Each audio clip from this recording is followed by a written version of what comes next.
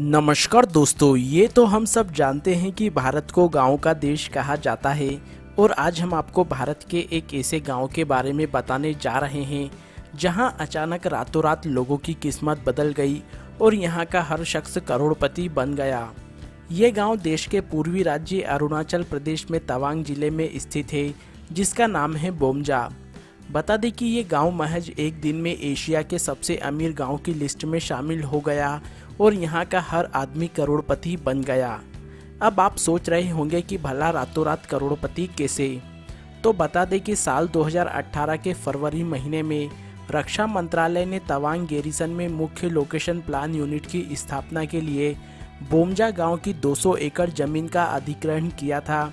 जिसके बदले 41 करोड़ रुपए मुआवजे के तौर पर दिए गए थे।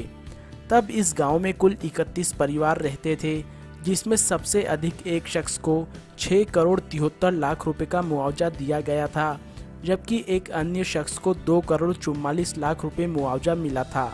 वहीं बाकी 29 परिवारों में प्रत्येक परिवार को एक करोड़ नौ लाख रुपए का मुआवजा दिया गया था, और यही वजह रही कि इस गाँव का हर शख्स रातों रात करोड़पति बन गया था। वैसे मानना पड़ेगा कि करोड़पति बनना भी एक किस्मत की ही बात है। तो दोस्तों, वीडियो को लाइक और हमारे चैनल को सब्सक्राइब करना ना भूलें, ताकि देश और दुनिया की तमाम अनोखी खबरें हम आपके लिए लाते रहें।